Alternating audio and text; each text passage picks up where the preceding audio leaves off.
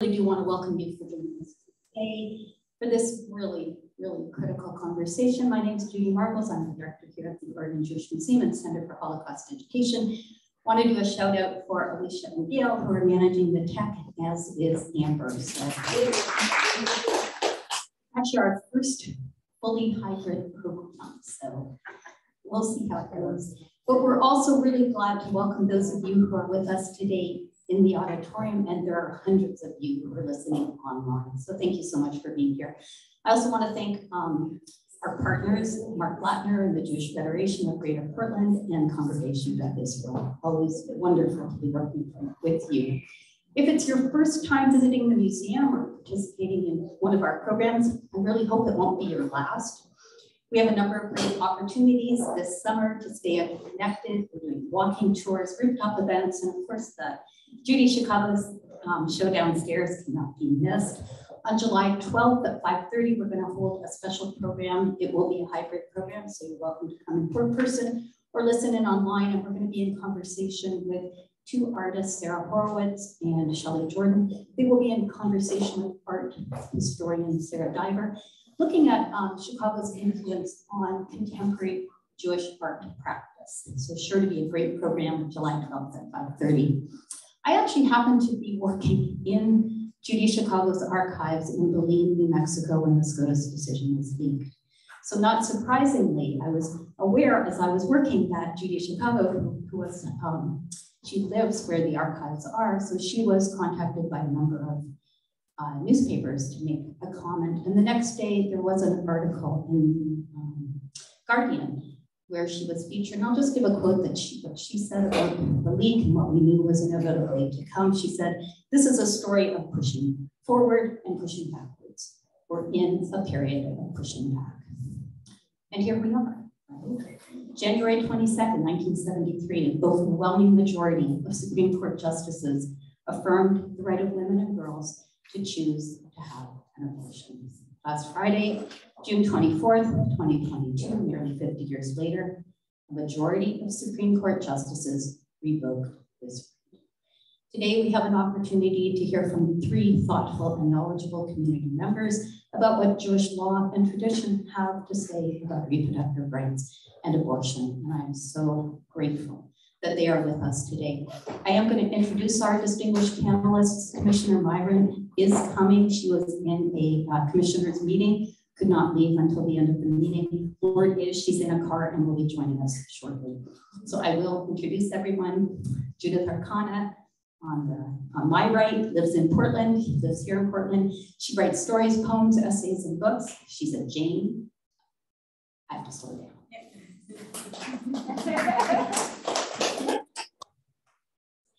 Um, Judith is a Jane. That is, she's, she was a member of Chicago's pre-Roe underground abortion service, and she appears in the new HBO documentary, The Janes. I urge everybody to watch this documentary. I was saying to Judith, it's actually, it's, it's brilliant and it's beautifully made. So uh, Judith, when did it come out recently? Like, yes, well, it had a, a preview in, oh, sorry, okay, all right. Well, might now. Um, it came out um, in its initial form in January at the Sundance Festival.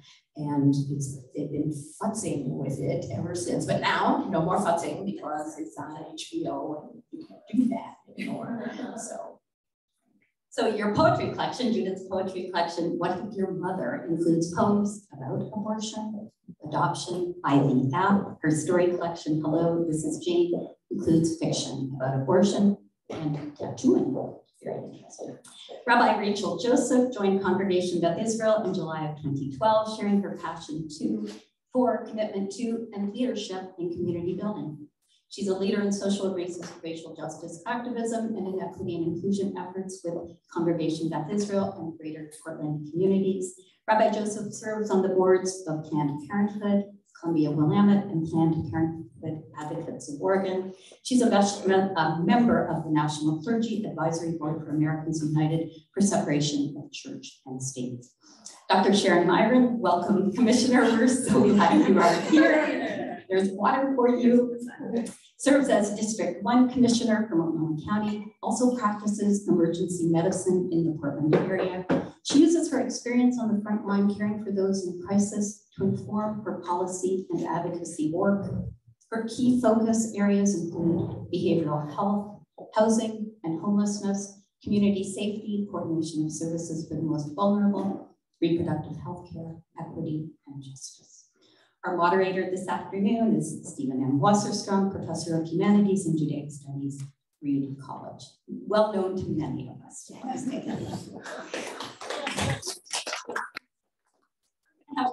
We hope we have lots of time for your questions. I think we will. If you're listening in online, please put your questions in the Q&A. Please don't put them in the chat. It's really hard to monitor both.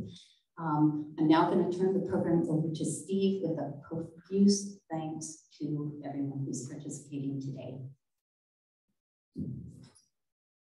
This is a reminder to the panelists and Steve, if you can make sure the mic is very close to your mouth, that would be very helpful so everyone online can, our mic over there can pick it up.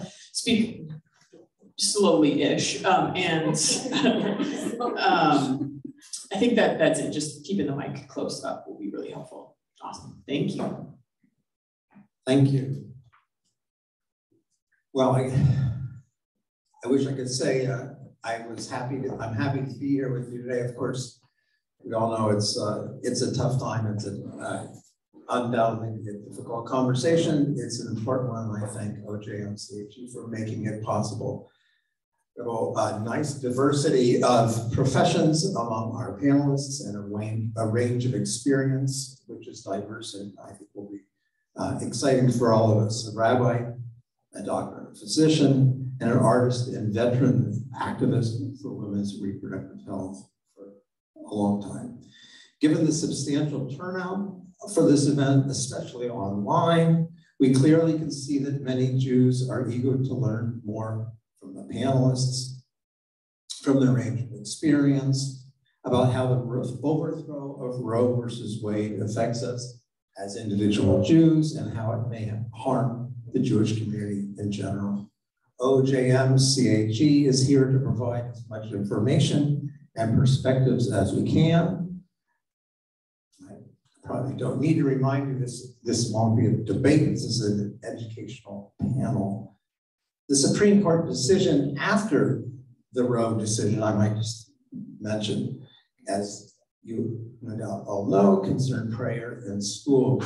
Here again, I will observe the Jewish community's rights are potentially infringed Joseph, uh, Justice Sotomayor included a photo in her dissenting opinion in order to illustrate that the prayer in dispute was not an innocently, innocently private, but rather was a cluster of players at the center of a football field. If one were a Muslim player, or a Jewish player, or a Sikh player, the photo shows vividly that the players praying were exposed publicly and therefore could not simply opt out. So church-state separation, while a topic for another day, is clearly part of a package of court decisions that have a potentially deleterious effect on American Jews. Uh, just before we start, I want to invoke three names, if I may. Uh, the first is Gisella Perl, who is an OBGYN in Auschwitz, who devoted her time um, in the death camp to abortions because the children who were being born would be the subjects of human experimentation.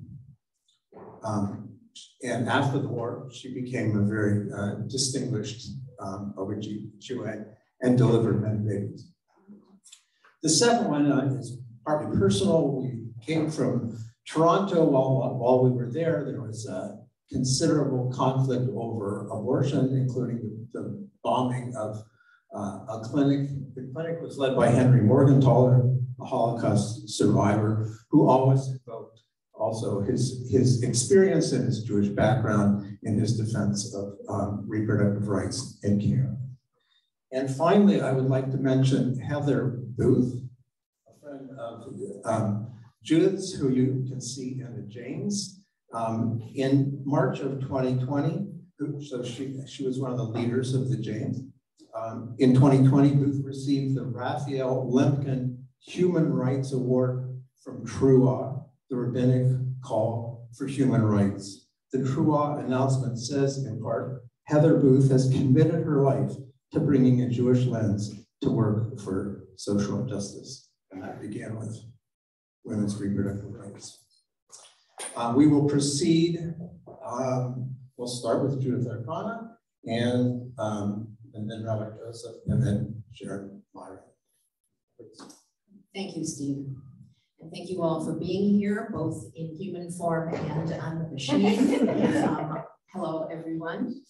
Um, I'm going to, as they say in circumstances like this, make remarks and uh, try to be relatively brief, although one of the things I realized when I was making my notes is every single one of these notions, you all would say, I'm betting the same thing, could let us talk for the rest of our lives.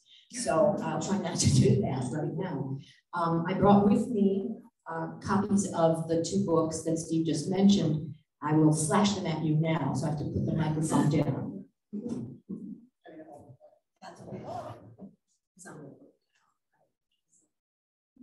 Here we go. This one's poetry. This one's stories. Um, and I'm going to uh, probably read a. I'm going to probably read a poem or two before the day is or before this day's meeting is done. Um, and I'm hoping that the museum's gift shop will have these available at some point, maybe by the end of the summer. So I'm the history person in this um, panel, I am literally history, which always makes me. That's what happens if you live long enough. That's the deal. And I don't mind actually, because it's endlessly interesting to think about what I know because I'm still alive. Um, in regard to today's topic, um, the focus, of course, is on the work that we did in the underground clinic in Chicago in the late 60s and early 70s that Steve has already alluded to, and that is, of course, featured in that new HBO documentary, The Janes. Back further, um, I want, I always want to say in such circumstances that abortions have been performed and sustained by the people who needed them for thousands of years, thousands of years. This is not any, you know, we can exaggerate occasionally. This is not an exaggeration. This is something that women have done for and with each other all over this planet for thousands of years. And the Janes happen to be a particular set of people doing that work, but by no means unusual in the history of this species, humans. I mean. The more recent history, um, always hard to make it short. Um, what happened was um, Heather, the, the woman that Steve has mentioned, um, made some referrals from her dorm room by telephone for friends that she searched out when people needed abortions. At some point, many, many people started calling her, of course, and she had a meeting with some other feminists in the city that she had already been doing other social justice work with. And um, that group, not Heather actually, she went on to other things, um, started what became known as the Abortion Counseling Service of the Chicago Women's Liberation Union, which is a very long name. So two things happened. One, we who were Janes um, called it the service. We still do. And now people just call it Jane because that's what everyone used as our fake name um, when we were, because we were illegal. We were, in fact, felons. When abortion is not health care, it is, or it was in Illinois, and I'm betting it will be elsewhere, felony homicide. Yeah, it's quite a phrase, isn't it? Um, so what happened was we began with referrals, we moved into counseling, training ourselves and each other, and then we realized that we could learn from the best abortionist we had contracted with. Um, he was very, very, very, very good. He was good to the women who came to us, and he was an ace at doing abortions. And so we leaned on him to teach us. And it wasn't his first choice, but ultimately, for a set of reasons, see the movie, um, uh, he acquiesced and he liked us and we liked him. And um, we learned First one, then two, then three, then maybe a half dozen or more Janes learned the medical stuff, as we called it. And then he went away and we remained as a self-sustaining underground illegal abortion clinic in Chicago until a couple months after the Roe decision in 1973. Um, we often argued about tactics and practice, because any group does. And even after the Roe decision, we argued about whether we should close. Um, clearly, that's the decision we made, and so a couple months later we did. But the argument was, we are good at this. We are like the people who come to us. That will not happen with the medical industry. Again, I pause to let that sink in. That's where our heads were. Some of them then started a clinic. Um, I went on to other stuff teaching about women's bodies and health and sexuality and so on. It's probably enough minutes, yeah?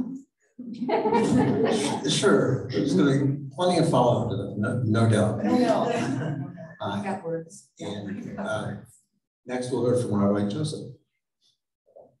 And so I think a nice segue is why are there, were there so many Jews a part of the reproductive freedom movement? So I'm wearing today a necklace um, that online you probably can't see. Um, the necklace is actually but on the necklace is a hanger. So for my bat mitzvah, and this is true, confirmed it with my mother this morning, that in 1990, I was given lifetime membership to the National Council of Jewish Women with a necklace at the time that was with my Hebrew name Rachel and this coat hanger. Wow. That was my bat mitzvah present, one of them. And I actually, um, I was wearing this today. Now I'm wearing it on a necklace that said Tzedek.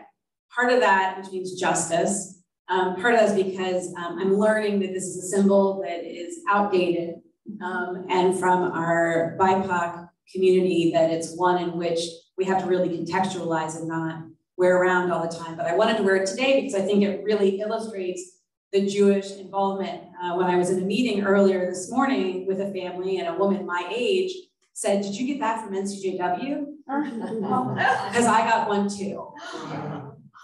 Right? So it is really quite remarkable to think about how steep in our tradition, in our Jewish values, to be involved in reproductive freedom.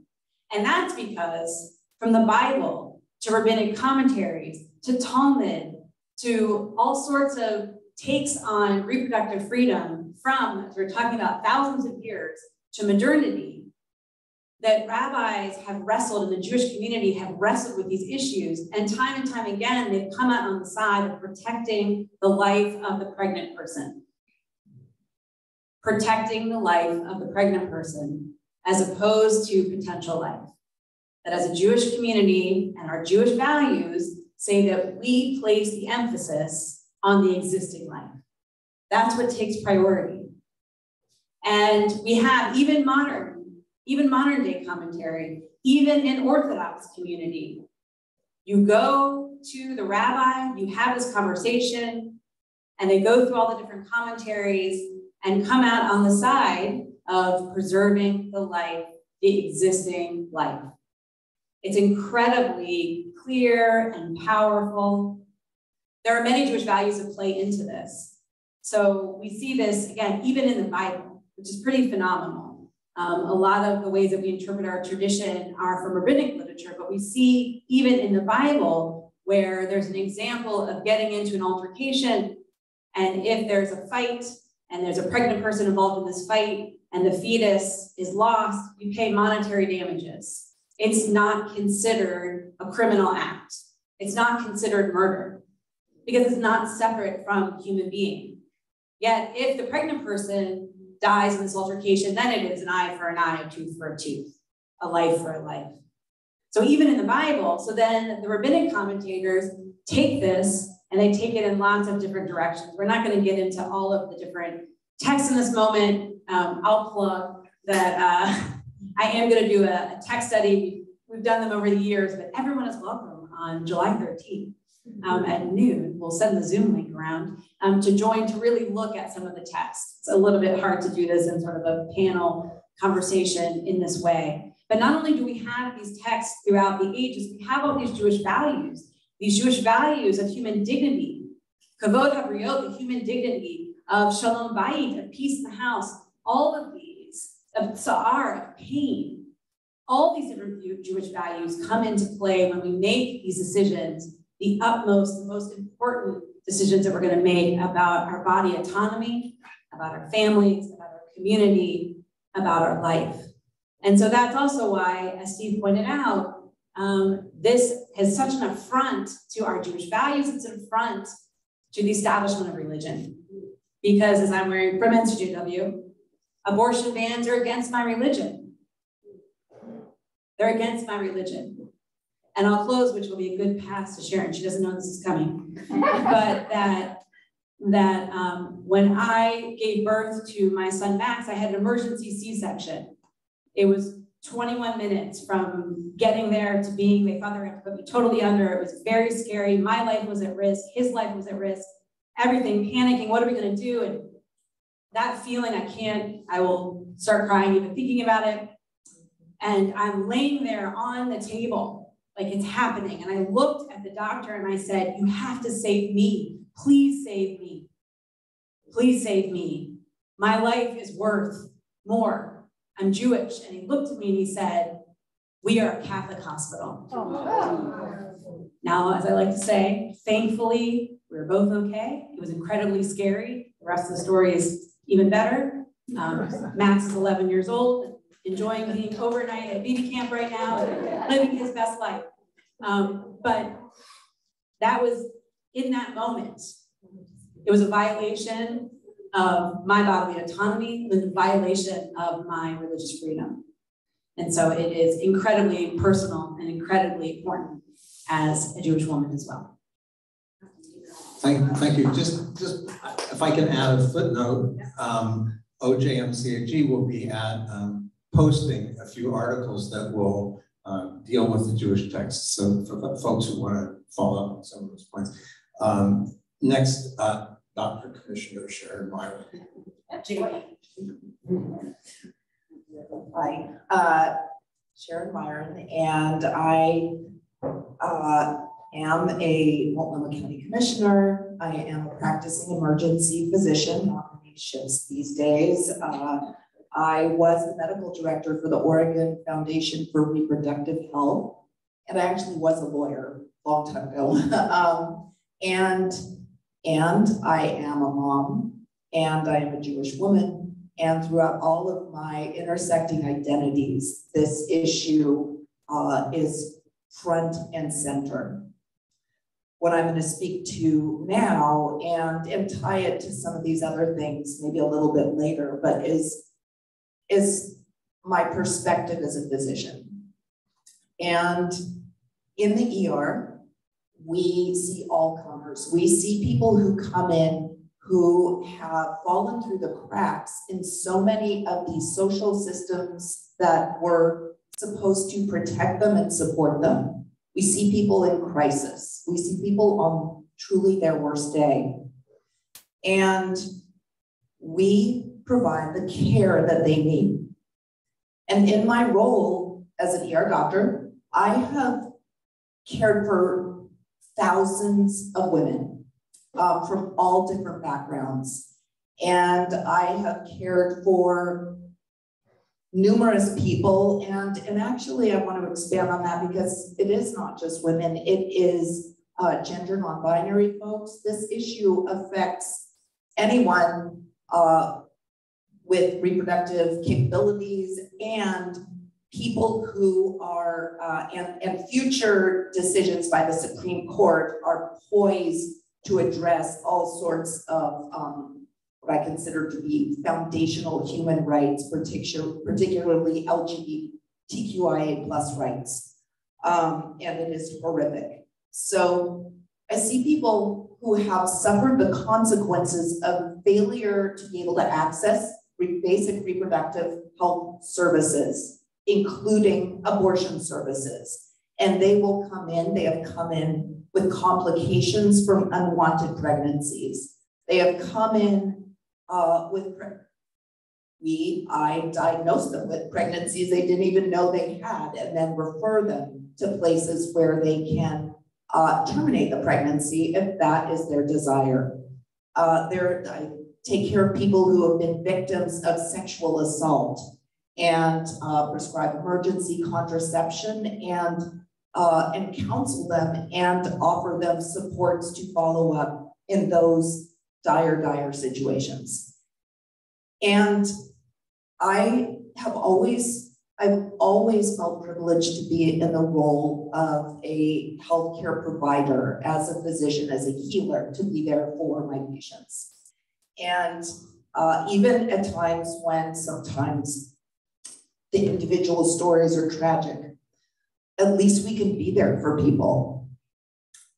And as I've been thinking about this ruling, anticipating it, but now just seeing it, which I still can't get my brain around, uh, I realize a lot of what I have done and what I will continue to do, because fortunately we are in Oregon, yay, uh, where we have the strongest protections on reproductive freedom, including access to abortion.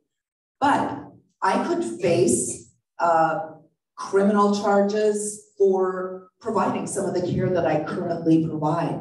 We don't know the implication of these laws. If people are coming over the border, abortion refugees, if they are coming into our state and need care, what does that mean if their state has a restriction on access and criminalizes the provider of abortion services or other medical support for reproductive health care. Uh, and so this is a very, very scary time. And I know I have colleagues in many of these other states, and how can we support them and the women and others who they are serving at this time? So there's conversation happening about the legal implications. There is fear, and there is anger, there is outrage, and we are going to fight back. Uh, but it is a scary time unlike no other I've ever encountered. Thank you. And with that, we'll move into the questions that are coming in online. Um. I, I would just ask. Some of my own. Oh, okay. I was going to skip it because I expected there were so many people waiting. Um, well, uh, just going to bring it back to some of the um, Jewish questions, uh, obviously, since we're at the Oregon Jewish Museum. Uh, and I thought, um, what, and one of the comments that has come in already is what we can do as a Jewish community uh, as actions that are important within our purview today and I turn it over to the panelists.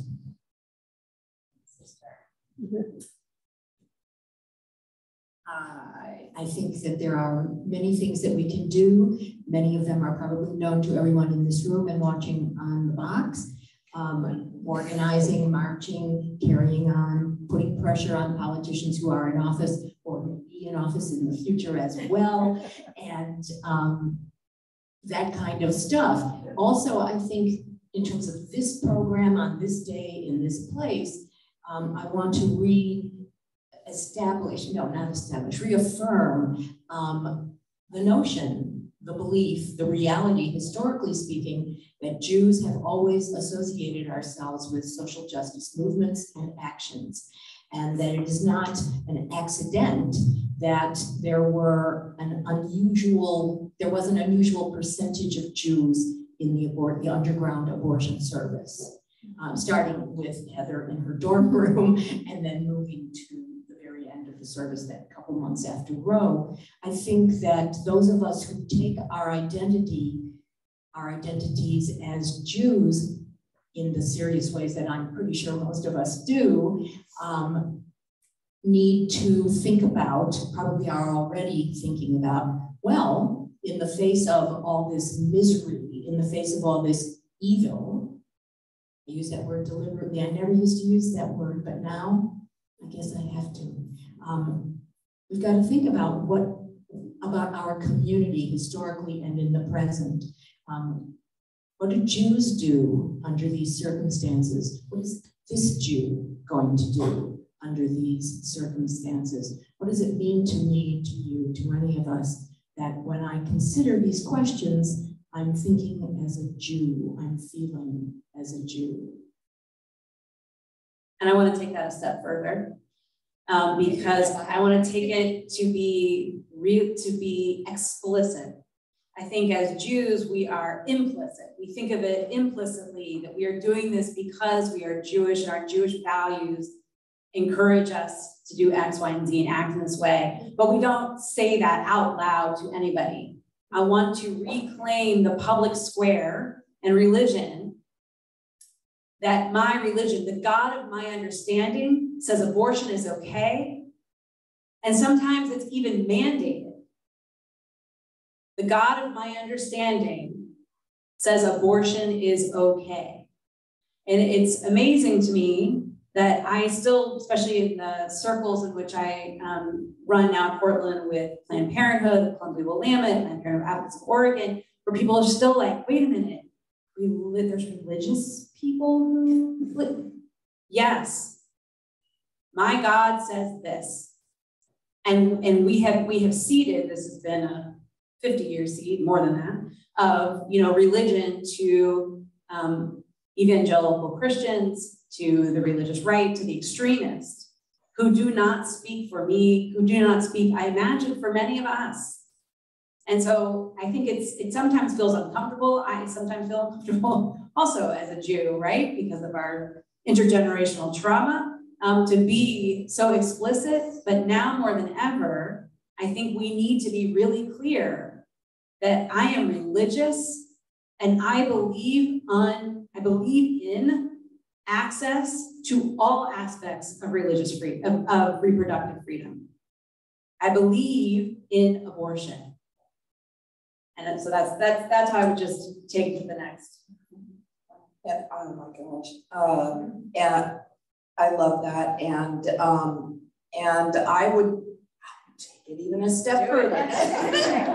um, and I would, I uh, in talking about reclaiming that um, and uh, being religious, I actually, I am not religious, but I am a Jew, and I uh, subscribe to the spiritual um, and social justice aspects of Judaism, and it is how I identify, and I will continue to do so. And it's so it is even more, I think, more inclusive with identification of your one's Judaism and that spirit and expanding it to um, to who who we are as a people and that I I love that you brought up the historic trauma because it is definitely it is so present as I am in forums in different places where people are speaking to their experiences and their traditions and the religious aspects of this, whether it's in debate or in whatever context. And I kind of hesitate. I, I think, I, you know, do I bring this up in like the context of being Jewish? And um, and often I I'm ashamed to say I don't. And I am from now, I mean, from here on out, it is, it needs to be at the forefront because it is, it is both important in reclaiming identity, but also in the argument, just the very arguments that are being made to subvert the right to abortion, that this is a religious issue and um, well, sure, if it's a religious issue, then you are violating my religious freedom. And so uh, taking it to that level. So I think that there is such an opportunity to come together around that particular element. And I look forward to you, our uh, Jewish rabbi leader, to um, leading the charge. I wanted to say one more footnote. Yes, absolutely. Um, I'm also on the No God team, but as Jewish as anybody. I would love to unpack that with you sometime. uh, Hey, the one I'll talk to. Um, but what I wanna say, and this is, okay, now this is gonna be a bummer and a downer, but I really think I have to tell you, when I was doing some more, looking through old notes and then looking for new notes to prepare for today, I discovered, and y'all can go to this website online, the Jewish Pro-Life Foundation. Oh, my God. Exactly, my very response. And I went to their website, which is extremely well done, professionally speaking, in terms of the layout and so on. These people are on the other team, and they say that they are Jews. And I was stunned because of we've all said here and what I thought all my life, which as I pointed out is a long time now. But here they are, there they are. And I'll probably check them out some more, but I I couldn't do this without saying, what? And then telling you, this exists. This exists. And why should we be surprised to think that I said to myself last night, why should I be surprised to think that we can do no wrong? So I thought I'm going to tell them.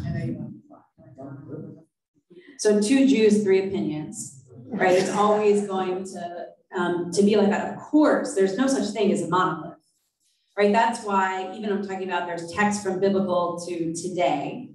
Um, but still, if I was in a community in which I looked to a rabbinic figure as helping me understand what I should do in my life, making my choices, um, then you still go to that rabbinic figure and say, here's the case here's what's happening in my life, what should I do?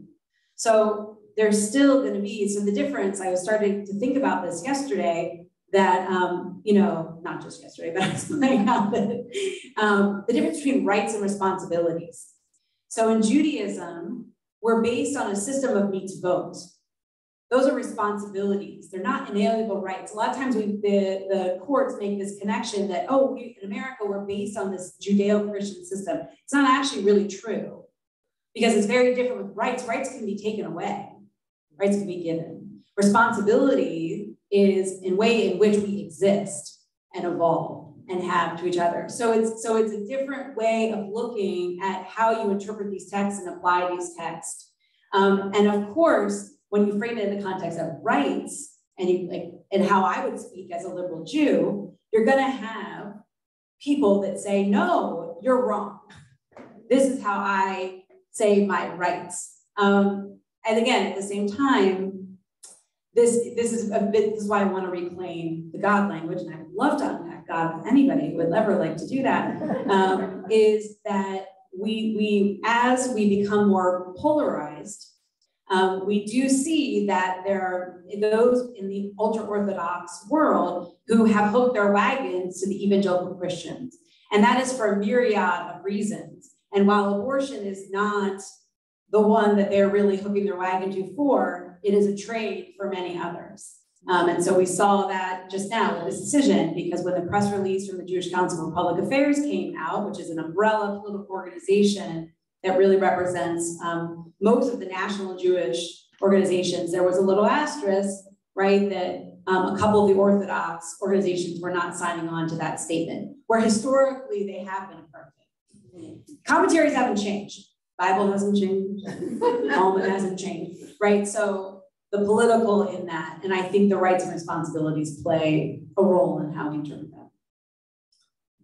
there's a lot, there's a lot on the table and there's a lot coming in from the, um, from the online participants. Um, I'm gonna fold some of them together um, and, uh, and turn it back to the panelists. And that has to do with the, the line between uh, church and state, between religious and uh, legal rights and responsibilities. Um, and um, let me start with making it concrete. This has already been brought up.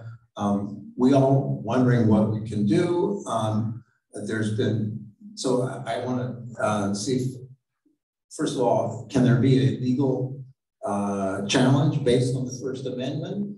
Can we have a coalition with other religious groups? Certainly this infringes the rights of Muslims who have a similar religious definition of the beginning of life as Jews do, uh, and other religious communities Um, and, um, I had one more question about it, and how, how can we mobilize our community into, uh, midterm elections locally and nationally that need our support, particularly from a Jewish mindset?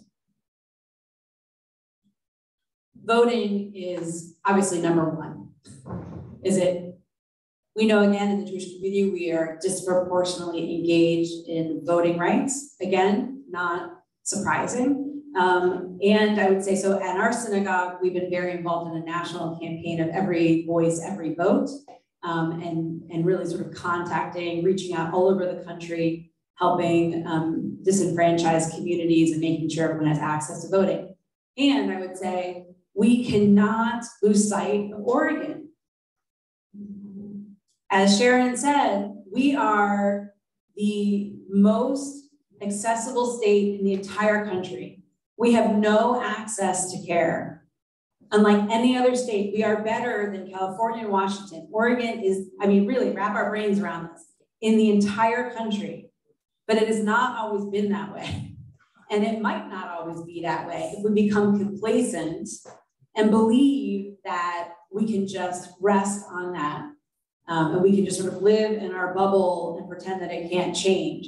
Um, and so we must do the work outside of Portland um, to really engage voters. And, and I would say, you know, to lately we've all seen the Audre Lorde, we've been reminded of the Audre Lorde quote that there's no such thing as a one issue voter because there's no such thing as a one issue life.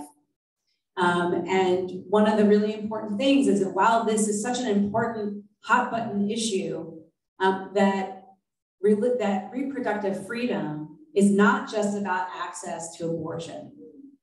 It is about how do we live in a safe world where we can raise the kids that we have in the way that we want to raise them? How do we have safe schools?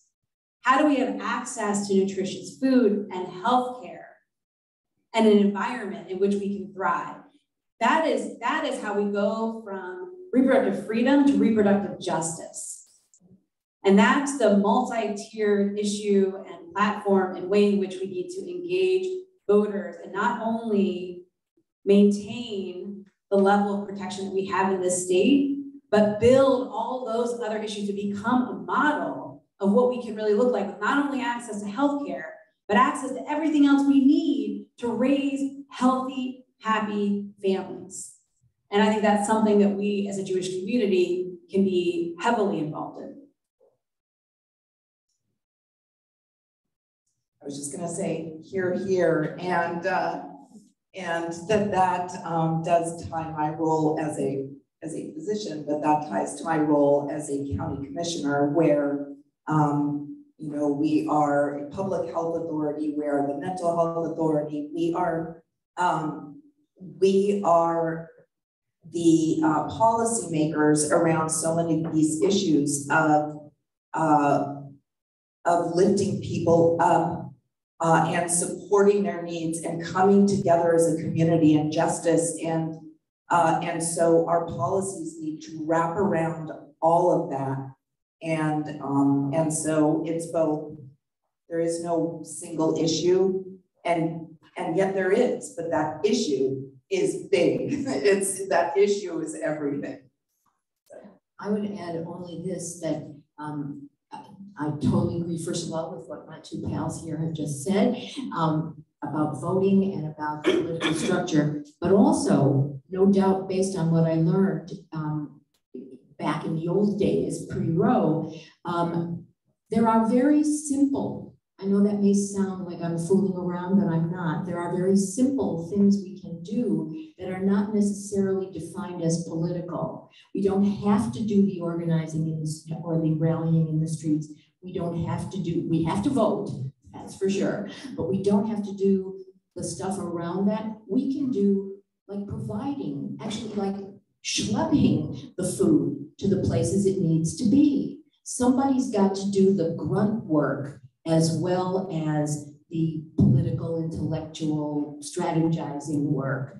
And that is extremely rewarding, extremely rewarding, as well as being insanely necessary. So I encourage us to do what I'm I'm gonna keep calling the grunt work as well, signing up, showing up, and doing those apparently quote unquote simple things that are absolutely necessary.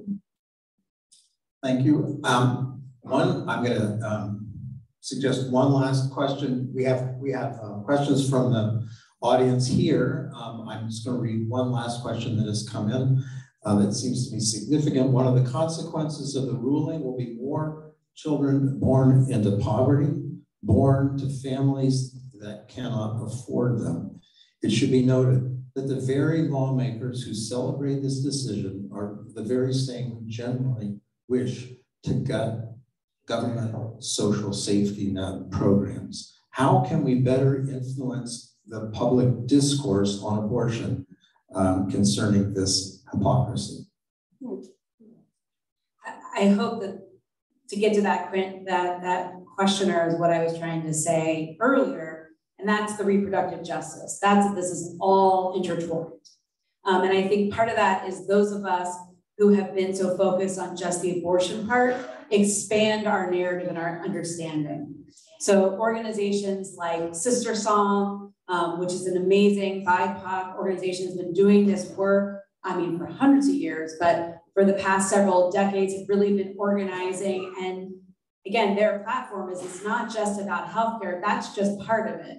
But again, how do we raise our families? And so that's, we, we need to be talking about that too. Those of us that come from, I'll speak for myself, from a place of privilege, I'm now trying to speak all the time about this intersectionality and this multi issue platform, that it's not just one thing, it's all connected. And we know, we've all seen this, right? If it was about the kids, then I wouldn't worry every day I drop my children off at school. So we need to, again, it's about reclaiming. It's about reclaiming the language and expanding the language.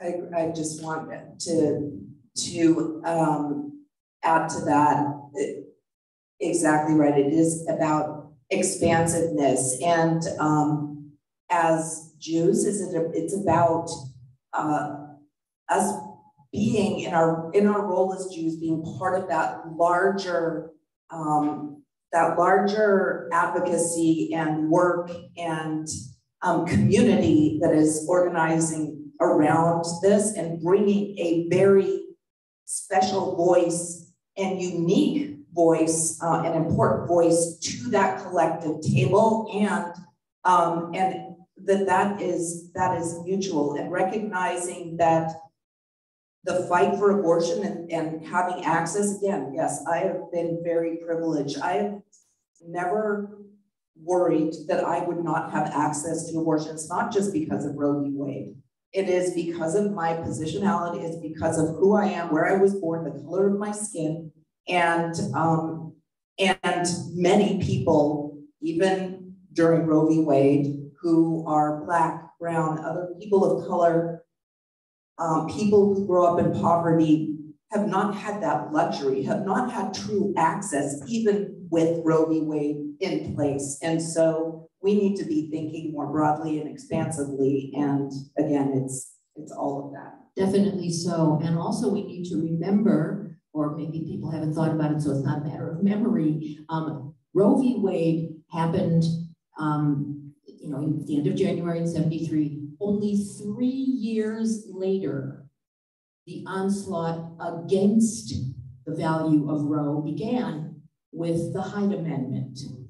Henry Hyde from Illinois, alas, where I was living at the time, but I can't take responsibility for everyone in their state. The Hyde Amendment did exactly what you're talking about, Commissioner Meyer. I can probably share. Yeah, please. And um, it's about cutting out all the people who could no longer get health care because they couldn't afford it. He knocked, Henry Hyde knocked out the financial possibilities for thousands upon thousands of people. And ever since that first big successful move on the part of the anti-abortion movement, um, they have done similar things all over the country in various ways. This is not news. This didn't just happen with the Supreme Court's decision. The Supreme Court's decision is a culmination of over forty-five years of heavy-duty, successful political organizing.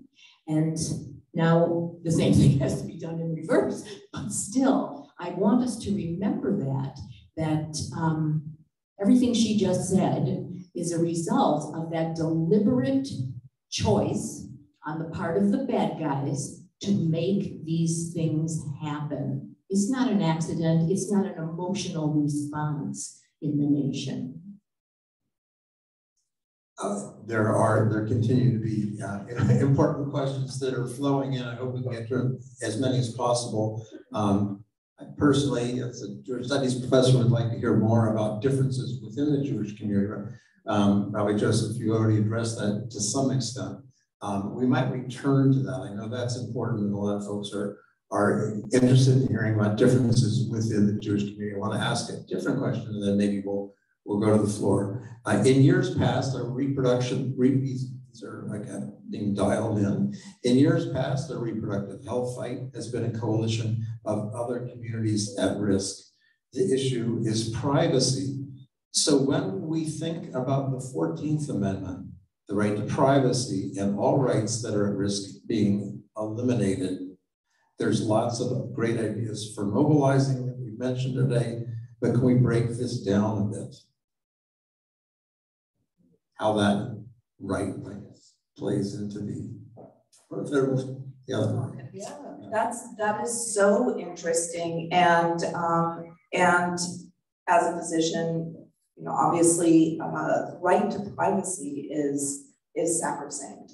And we have so many rules in place to guard the, the privacy of our patients. And the idea that there are states out there, and again, we don't know what those legal implications are going to be, but that physicians in providing care to their um, to their patients, how how is the information going to be gleaned to uh, be prosecuting anyone? And um, that seems to be yet another uh, conflict in fundamental constitutional rights. It's privacy, religion, and it's not just one religion, it's all religions.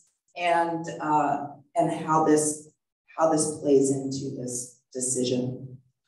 Very interesting. Thank you. Um, all right, I think it's time that if we open up um, some questions from the floor. Yes. Oh, hi, thank you so much for this conversation. And as I'm listening to it, I feel my blood boiling anew. But to your point about the Hyde Amendment, I've been sitting here stewing, thinking about leadership in the country. And we have Jewish, a Jewish senator, we have a Jewish, two Jewish representatives. I just hear really live from them. I don't hear anything other than give me money. Um, and I think that our president has a lot of trouble saying the word abortion. And if I recall, he was a supporter of the Hyde Amendment until yes. fairly recently. Anti-abortion. So leaving aside the very, very important questions of privilege and intersectionality, to Steve's initial point about if the coach had been doing this Torah portion at midfield, it would have been a mm. very different conversation. How do we reclaim some of this Jewish leadership and mm-hmm. really take this away. And I don't think it's as easy as working backwards. This was 50 years in the making with leadership that I think is slightly complicit in it. I think a lot of the senior Catholics, even the Democrats, have a lot of trouble getting this out of their minds. Uh, I'll repeat the question uh, roughly. Uh, the, the question concerns um, Jewish representation the, on the elected level. We have that here. Um, um, we have some other, uh, including a Jewish senator and other elected representatives from the Jewish community here. That was one, of the first part of the question. The, uh, the other observation that we might want to discuss is pro, um, uh, President Biden's uh, historical opposition to, to abortion and his voting for the Hyde Amendment. Um, so I'm wondering if we could follow, follow up on some of these um, political questions. I'm sure we can. Do you want to start? Chad, uh, I, I, you raised really, really, um, significant, uh, big, big questions, and I don't, I don't know, but it's something now that I'm going to pursue and, um, follow up on, is what, what our advocacy has been with our, with our delegates, particularly, um, our Jewish delegates, and what role they can play and what voice they can raise um, regarding this issue because it is, some of it is just, is talking about this more. It's what, what you mentioned, Rabbi, and um, reclaiming that and not just letting it slide under and holding, holding those representatives to account for doing that. And so I'm thinking of the representative from Michigan, Levin, who I assume is Jewish, whose response was to post him, you know, pose a tweet of himself doing a yoga pose. Um, you know, Yeah, no, it's, yeah. it's, this is really interesting, and I don't know if you have any more. No, I mean, again, I think, I think it's about speaking out. I mean, we do a lot of advocacy with our delegation of a congregation, Beth Israel. It's, uh, you know, some might say we do too much. Um, that, that is central, We're too much, as Rabbi Cahana would say. He just came from another press release, you know, dealing with Lift Every Voice Oregon. You talk about a, another issue, um, that's so important to the safety of raising families and kids. Um, so we are constantly talking to our delegation. One of the things we do with our students is we take them to Washington DC, as Sharon knows from her own children, and educate them and take them up to lobby and all of that. And so, yes, we need to continue to encourage them to be explicit. Again, I think it comes down to we've just had too many years of resting on our laurels, of not being explicit in our language of who we are and why we bring this. And you don't get to be the only religious person in the room, because that's the beauty of this country. So I used to be a lobbyist for American United for Separation of Church and State before I became a rabbi. And I'd always play this game with people. How many religions, how many registered religions do you think there are in this country? Let's hear a guess. Keep going. Keep going. Over 2,000, over 2,000 religions. And that is what makes this country the best country in the world because of the freedom of religion. And when we lose that, everything else falls. And that is exactly what we're seeing. Because when the Makin decision came out saying that it was discrimination in Maine, Alito said it was discrimination that taxpayers were not funding religious schools. He took this and he turned discrimination around and he said the Maine taxpayers should be paying for two schools that explicitly discriminate against queer families, explicitly in their admission guides and in their curriculum. And then, yes, you see those pictures. Bremerton is right outside of Seattle. This case, Kennedy versus Bremerton, right outside of Seattle. It is, it is not far from here. It is not like Eastern Oregon, or we can just pretend it was somewhere else. And if you ask rabbis, it's not the same for me in Portland, but it's interesting as the Bremerton case came down, they were asking rabbis, what is the number one thing that you deal with with your students? And the number one thing that a lot of rabbis deal with is their students in sports and being overlooked for positions, not given playtime because they don't participate in the religious activities that are voluntary in mm. public schools. When the freedom of religion falls, everything else falls. Mm-hmm. Okay. Footnote, um, I think that one thing we can ask of or demand of, depending on our mood, uh, uh, elected officials, is that they out themselves as Jews. And not just once, but to say, well, I'm a Jew, and so for me, this sounds like it's actually about Christianity, not about religion. So, and if I were a Muslim, blah, blah, blah, blah, blah, but opening with outing themselves as Jews, I think that could go a long way. Granted, it will make them very anxious. And I, you know, but anxiety, isn't that a Jewish thing? Anyway, I'm, I'm actually quite serious about this. I think we have a lot of good reasons to shut up about being Jews. We have a lot of good reasons. But I think that this will take precedence over those reasons, because this is the present. The past is in us, but we don't live in the past. Yes, Well, if I can follow up on that, you know, clearly, we're not the only religious community that feels threatened. So is safety in numbers, can we imagine that we can band together with our Muslim colleagues and other religious organizations that are facing the same threats? And mm-hmm. how do we do that? Everybody comes out. the que- the question concerns co- coalition building with the Muslim community and other religious communities that might have a common cause with us. This work has been going on thankfully for decades. So there's already amazing coalitions of interfaith, multi-faith work. Um, an older coalition that is, that is actually still around, but the reproductive, um, the Religious Coalition for Reproductive Choice, RCRC, um, you know, is still active in many states. Um, and that we, we do, so yes, it exists. Um, we have to continue to build and strengthen.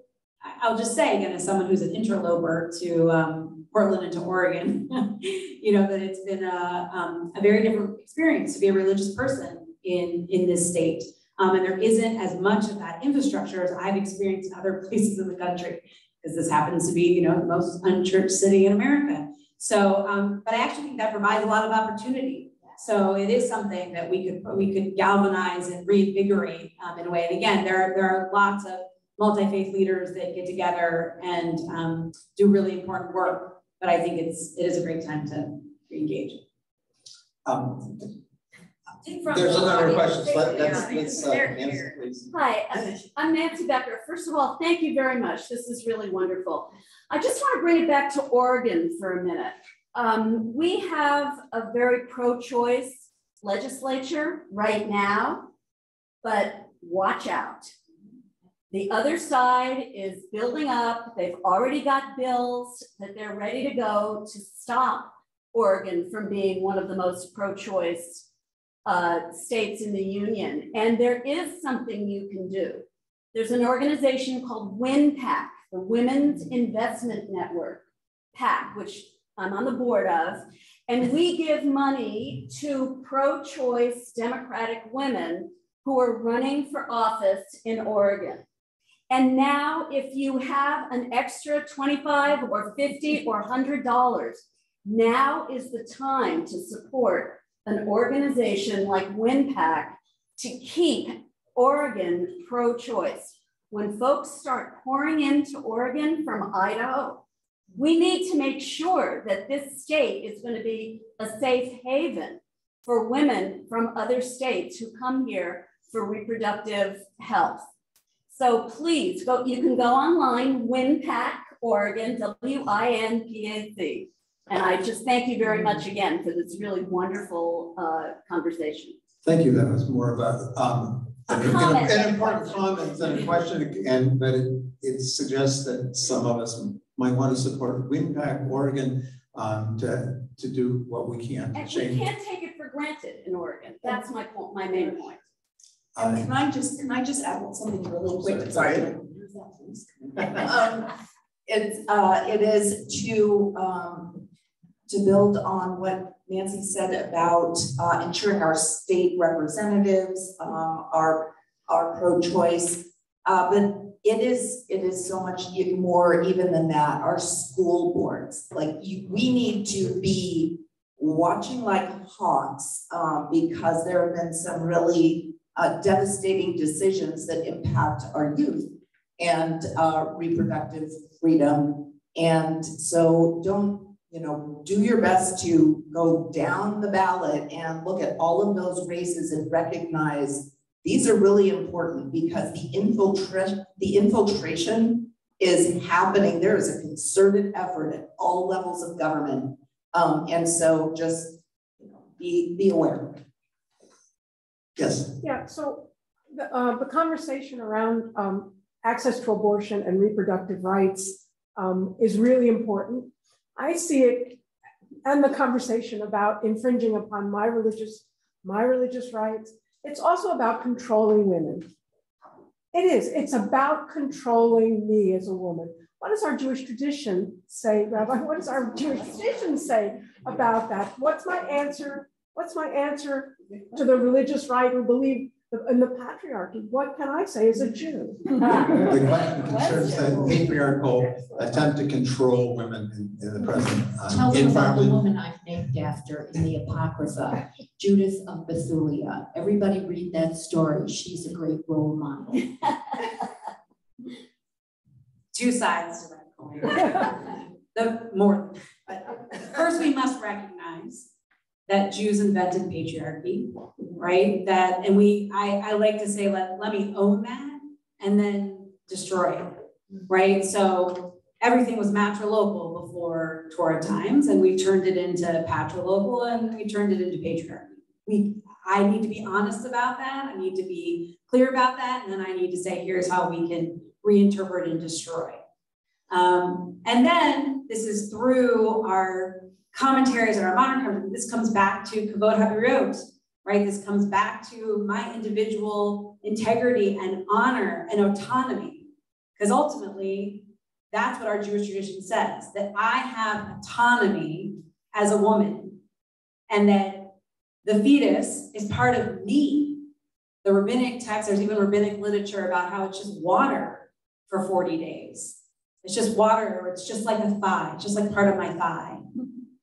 And it, so it's mine. There's the, the, the really um, difficult text um, is the text where it talks about the fetus becomes a rodef, that it's actually pursuing the body, the mother's body, and can be actually destroyed, that she can, she can destroy it and get rid of it because she has that bodily autonomy. And so I think that's where it's really interesting that of all the things, the text is pretty clear going down. I was just looking, and I wish I had brought copies of it, of a older art, a few years ago, an article of Orthodox women sharing their abortion stories. And I'll, I'll make sure that, um, that you have it. And, you know, about like having these experiences that were so difficult, but their rabbi saying, yes, this is what you need to do, and I'll help you do it. And we have a community that will take care of you. Because your life is paramount. Your existence is paramount. This, the health of your family is paramount. And so that's the health of you. So mental health, physical health, economic health, all of that is what our tradition says comes first. Yes, I have been having issues lately with the thought of having to continue to vote in what I consider a one-party nation. I, at this point, basically think that Democrats and Republicans, the majority, two sides of the same coin. They've had control over the House and Senate, the executive branch for a little while now, and they've done nothing. Oh, no, they don't. True. don't. But just for me, as someone who, you know, I am living paycheck to paycheck, I'm barely scraping by. I grew up in rural, you know, rural Oregon, and our communities, it just keeps getting harder and harder for the people that I know and the people I grew up on with. So it's just so hard to see any sort of opportunity in so many of the people when I keep seeing these chances getting squandered. And then I get an email about fundraising, and I'm like, well, can we do something first now? Like, that'd be really great. So I'm just wondering if, I guess there's any resource out there to find candidates that are actually doing something to get behind? so the question concerns finding candidates that can really do something, um, perhaps beyond, you're expressing some frustration between the, the two elected parties now. Um, Or NGOs, it doesn't Or have to be NGOs. candidates, it could be um, organizations that can, that we can be involved with, such as the one. Really quickly, I apologize for interrupting, but someone's cell phone is going on and there's music on someplace that we're picking up and it sounds like it's in this area. Apologies for interrupting. I wonder, is it in mine? Okay, good. I'm like.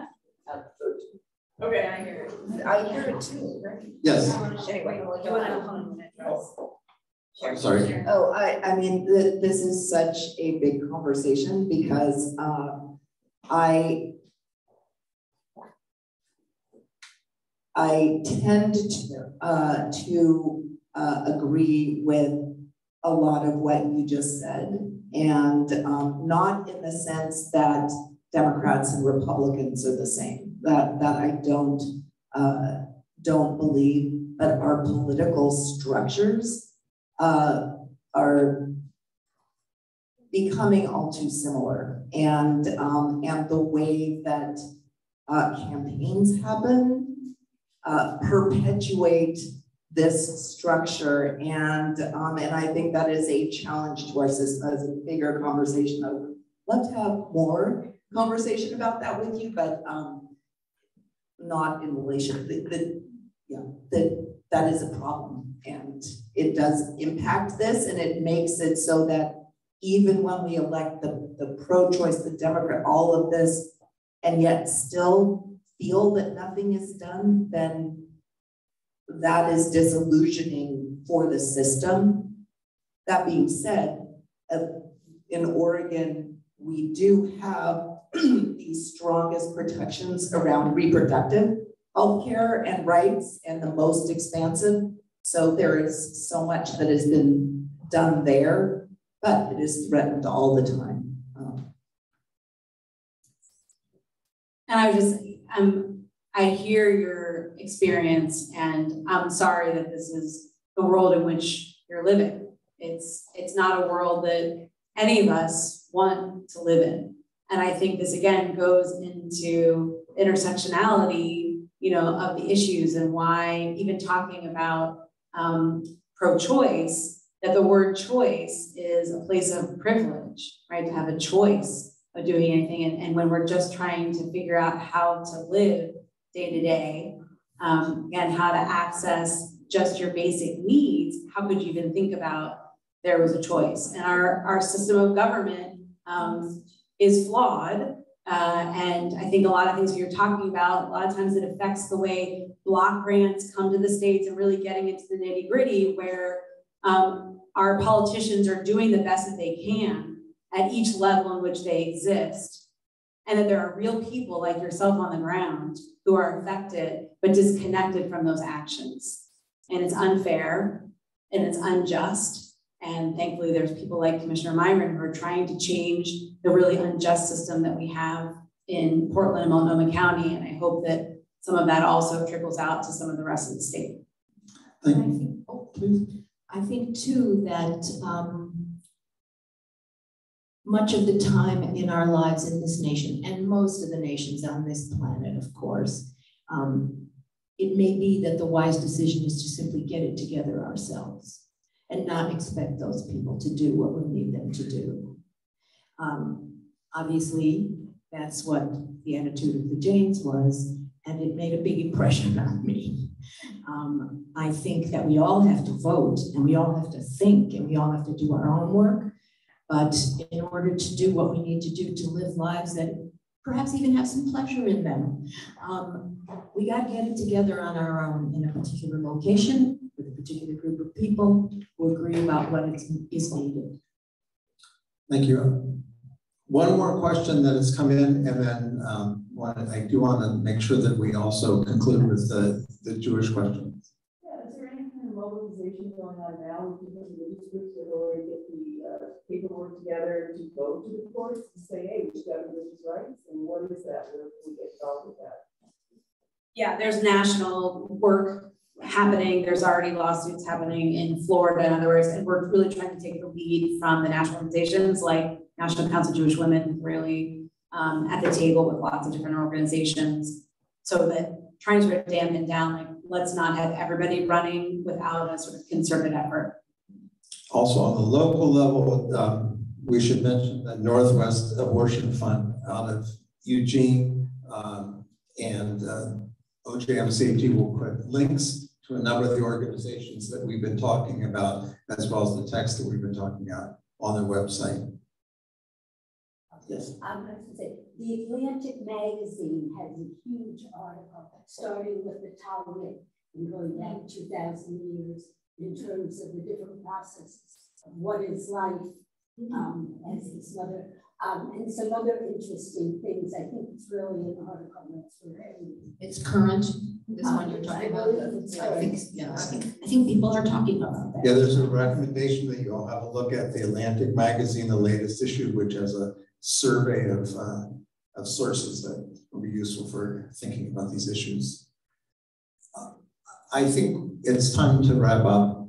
Um, it's hard. It's, it's a, it's a, uh, a hard time for all of us in many respects. Um, I do think that we're here at the Oregon Jewish Museum.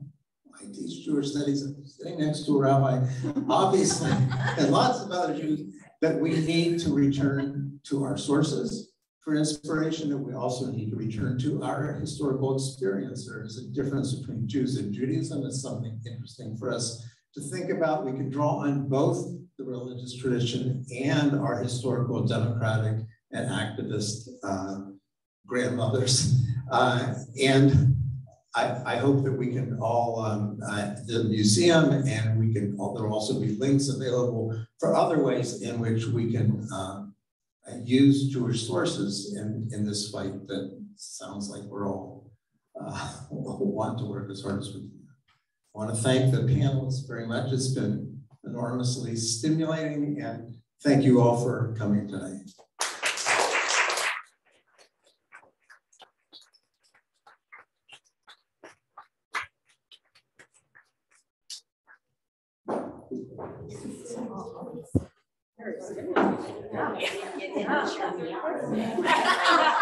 I know.